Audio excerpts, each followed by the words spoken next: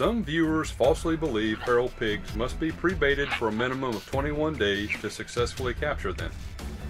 While this action is required when using portable box traps and corral traps with narrow 3 foot wide thresholds, a 21 day baiting process is an unnecessary waste of fuel, time, and labor when employing a M.I.N.E. trapping system.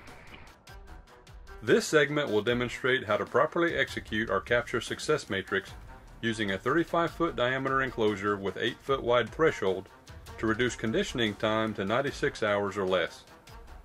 We will measure the fuel, time, and labor costs to implement the most efficient integrated wild pig control program. Step 1 of our capture success matrix is conditioning pigs to trust the bait site as a daily food source. We erected an automatic feeder with a digital timer set to dispense corn at 1830 each night. An ice camera was positioned on a T-post mount within 25 feet of the feeder. This allowed us to receive immediate 3G text photos on our cell phones to begin collecting intel without traveling to the bait site daily. The sounder of two sows and six piglets discovered the feeder the first night on March 2nd. Night number two arrival on March 3rd was approximately an hour later than the previous night. They skipped the next night and arrived shortly after the feeder dispensed corn on March 5th. Heavy rains delayed their next visit until March 7th. Notice they arrived prior to bait dispensing in the first photo, but corn is on the ground in the second photo. We filled the feeder on March 8th and used the empty feed sacks to limit corn dispersal directly under the feeder. This step would later ensure bait stayed inside the trap enclosure when built. The sounder arrived on March 10th, finding three days of bait on the ground. Step 2 of our capture success matrix is to condition pigs to trust the corral enclosure as a daily food source. We built and camouflaged a double gate trap enclosure on March 11th in 90 minutes using two personnel. This design would allow the sounder to use two entrances and two exits with a M.I.N.E. gate centered on both trails.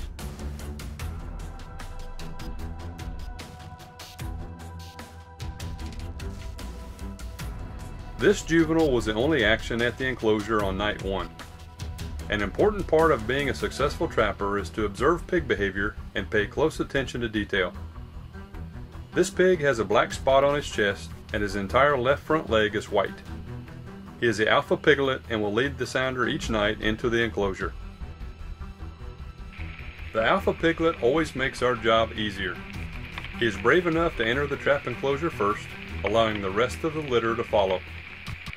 The entire litter enters the gate enclosure for the first time at 2 a.m. on March 12th. Something spooked them 8 minutes later, but notice the alpha pig leads them right back into the enclosure.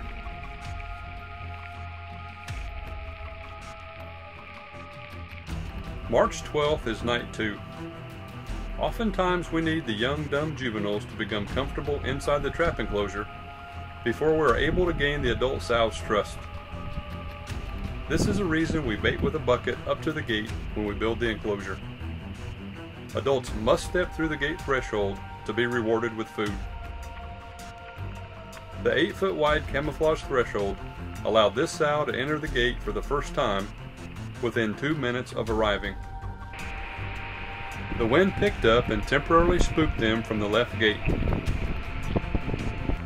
However, we experienced the same quick entry scenario at the right gate.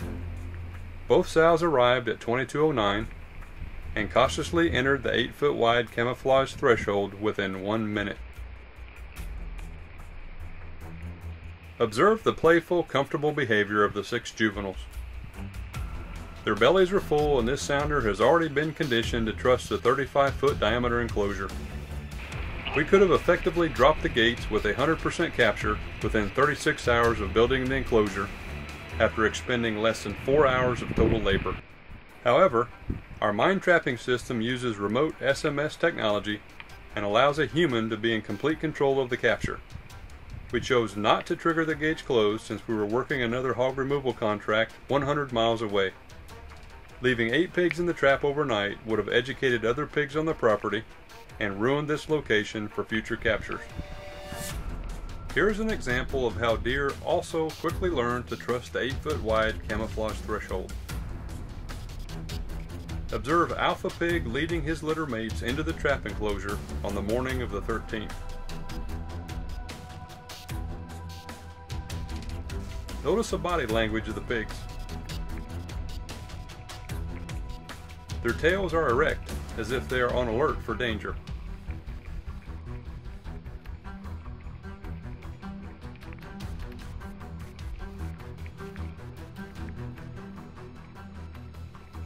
The sow enters the gate threshold with little concern. Watch the reaction of this lone boar as he encounters the enclosure for the first time. He obviously likes what he smells, but not what he sees. Adult boars do not get this big by being stupid. Alpha Pig leads the sounder into the trap enclosure before dark on the 13th. However, this is the first time their mother has entered the gate threshold during daylight hours and reacts negatively. Observe her behavior when she returns three minutes later. She drops to her knees at the gate threshold to examine the situation for a moment, then enters the enclosure to feed. We thought it was odd that we had not observed the second sow during the past 24 hours. However, the next footage would explain why the Hamp boar arrived yesterday morning and these two boars arrived tonight. The second sow was obviously coming into estrus and every boar on the property wanted a piece of the action. Alpha Pig did his job every night, leading the sounder into the enclosure like clockwork. Here he is on March 14th, March 15th, March 16th, and March 17th. Notice the half hamp boar picking up the sow and estrus scent in the rain on the 17th. Watch this daytime rutting action. Observe the boar forcefully nosing the sow in the ribs, emitting characteristic grunts, chomping his teeth, and producing foaming saliva. She is not receptive or she would stand still with back arched and ears cocked. We believe she is coming out of estrus from the breeding behavior witnessed five days earlier. Alpha Pig leads the sounder into the enclosure one last time on March 18th.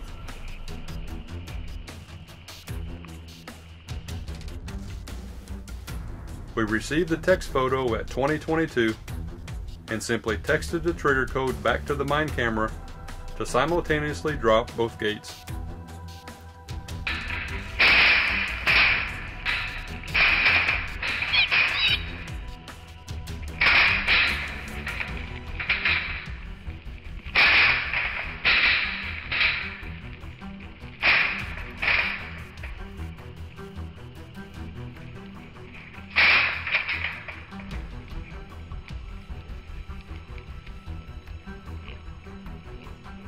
We quickly and quietly dispatched all eight pigs with a suppressed 22 caliber rifle.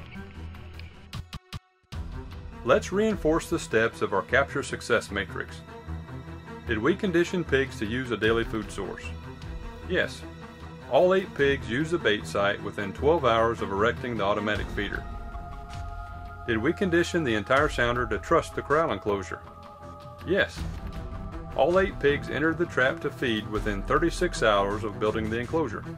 Did we utilize the optimum trigger device? Absolutely. We remotely triggered both gates closed using the M.I.N.E. Camera SMS technology to obtain a 100% capture. This segment successfully demonstrated the efficient removal of the entire sounder in a matter of days while expending less than 4 hours of total labor.